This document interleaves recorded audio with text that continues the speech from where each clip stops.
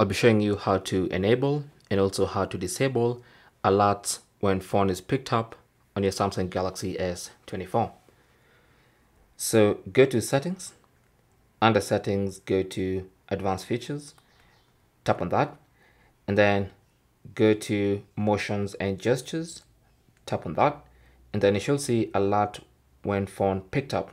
Now this is basically a feature where your phone will vibrate when you pick it up after missing a call or a message.